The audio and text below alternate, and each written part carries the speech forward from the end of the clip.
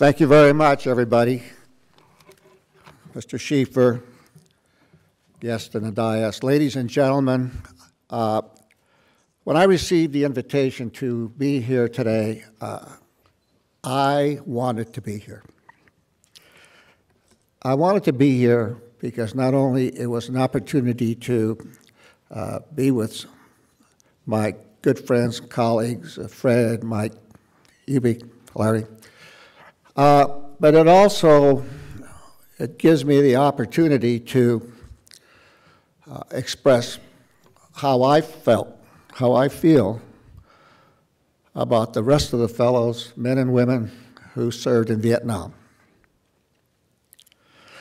When we came home, February and March of 73, those of us that were held in the POW camps of North Vietnam, we received homecomings. There were parades for us. There were celebrations for us. But for the rest of them, the rest of you folks, eh, you didn't have it. So I'm so glad that after all these years, the leadership of the county has taken the steps to publicly recognize you for your contribution and for your service. And I wanted to be part of that.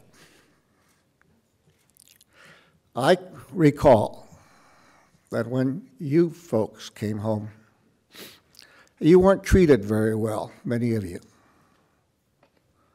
There were boos, there were catcalls, you were called names. You were stereotyped in many ways with, as the bad guys. But the truth is that it was just the opposite. You were the good guys. You were the ones that answered the country's call. You were the ones that signed your name on that blank check for the American people to be paid if you lost your life.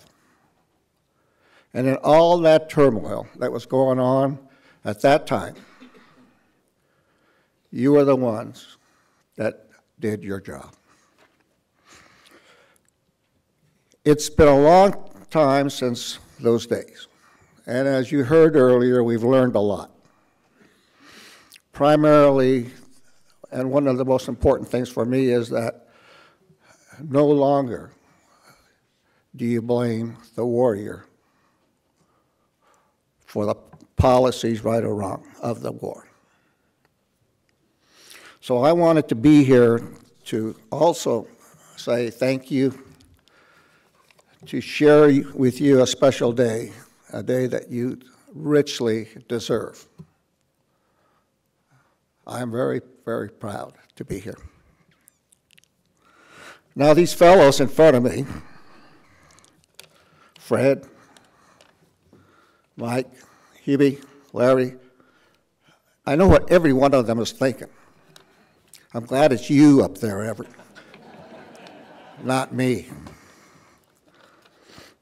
And as you heard and saw on the video screen, uh, I was the first one shot down at, in the Tonkin Gulf as a result of the Tonkin Gulf incident, which, by the way, I was part of that uh, also.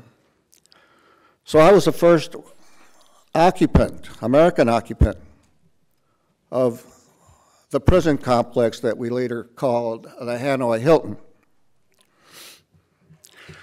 And as the fellows used to come in later on and join, others began to join us, you know, I'd often get asked, how does it feel to be the first one here, Ev, at this dismal, this dismal place? And I would always try to tease them and say, well, if you wanted to get a good room, you had to come early.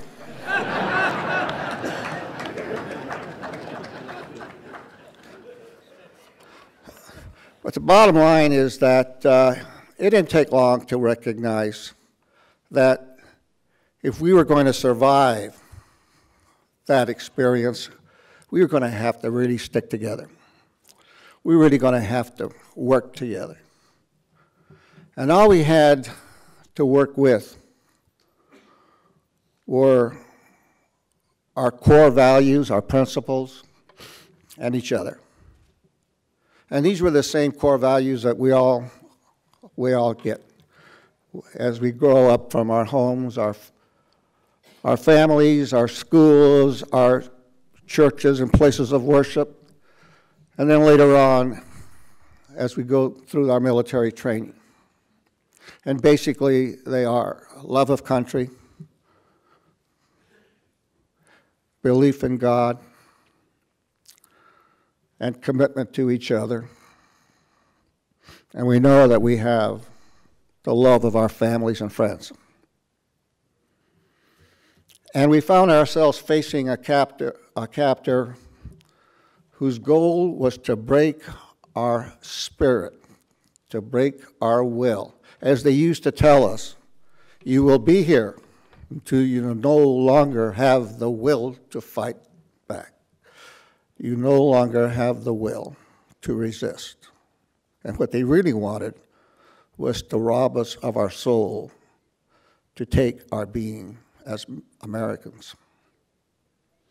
And we had no choice but to organize, to form a underground presence unit where we learned and created a, a method of communicating by tapping on the wall as you saw there, where we did whatever we could so that we can maintain that unity and, and, and stay together. And it, not only was it extremely useful for the unit cohesion, but also it was extremely useful so that we could keep each other going. When we had our down days, the other guy would raise our spirits. When we had our up days, our, our job was to raise his. And besides that, we helped each other in every way. And you heard earlier Senator Cardin mention what, how John McCain described his conditions. And I'll tell you something. John McCain's a good example of our commitment because if it was not for his cellmates who fed him, who bathed him, who cleaned him, because John could not do that for himself, for months, John would not be with us today. This gentleman right here, Colonel Fred Cherry, he, was, he had terrific injuries. And he was by himself in a cell, just within a few yards from where our cell was. And we couldn't get over there to help him. And we knew he was in pain. And all we could do is tap so he could hear us to keep his spirits going. You remember that, Fred? And all we could say was, Keep it up, Fred. God bless you. Yeah. Keep it going. He did. So, I am proud to say that we were successful in these endeavors. And as you also noted on the, on the video, that our motto was that no longer, no didn't matter how long it would take, we knew that someday we'd come home. And when we did, we would go home with our honor. And that was our motto. And later on, as we heard that there were peace talks going on in Paris, and things were picking up, and our treatment picked up, and we knew that the day was getting closer, the excitement seemed to build up. And finally, the day came, and February 1973, and we returned.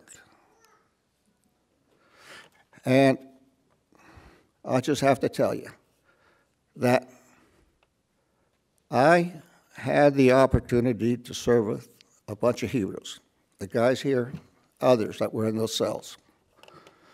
And I, it, is, it was an honor for me, and it is an honor for me to serve in the company of heroes like this. And it, it is also an honor for me to be here to participate because I'm proud that I am part of your group, and I can say that I'm also a Vietnam vet. You know, God had a plan for me. There's no way I should have escaped that aircraft going in, but I did. And perhaps we could say there's no way I could have come out of that eight and a half years in a fairly decent condition, enable me to go on with my life. But I have, and I've been very fortunate. And I met my wife, Tammy, and we've raised two boys. We've been in Mer- Montgomery County for 39 years, and this has been very, very good. Montgomery County has been a great place to call home. Ike Leggett, I don't know where you are, but I want to thank you for making the county such a nice place. Congressman Chris, I want to thank you for sticking around.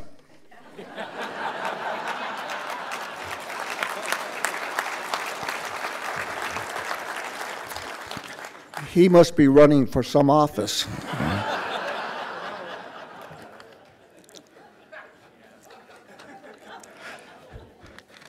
we were we raised two sons that call Montgomery County home.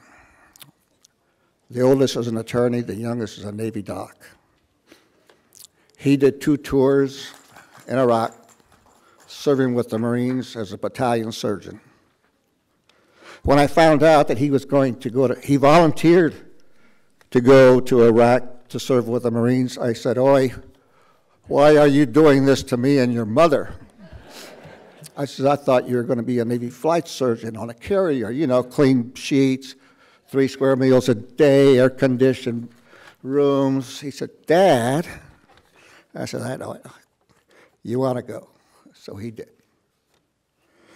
But we have a lot of young people today.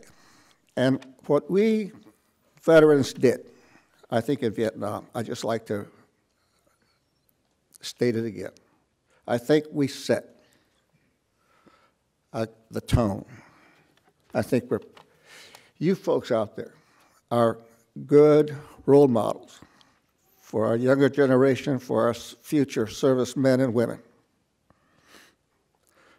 You've done a good job. Thank you. Thank you for the opportunity to be here with my fellow colleagues. I know I'm going to hear from them later. That's okay. Colonel Allen, whatever you are, I want you to know that we also had our FNGs. and here's some of them right here. Ladies and gentlemen, it's been an honor to be with you today. Thank you so much.